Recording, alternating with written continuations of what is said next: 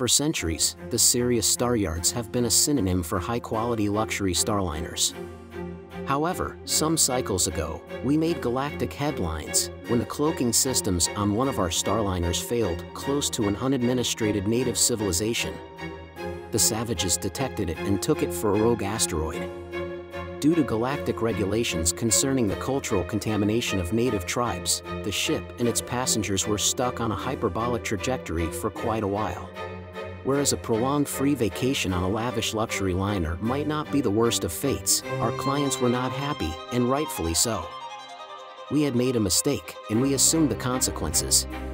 So, we gathered our best engineers and ship designers and went back to the drawing board. During half a decade, we crafted a completely new vision of interstellar luxury cruises, reuniting comfort, security, entertainment, and style. Now, we are proud to announce the next generation of luxury starliners. The Oumuamua 2 has three redundant cloaking systems, a low-radiation dark energy drive and long-range evacuation teleporters.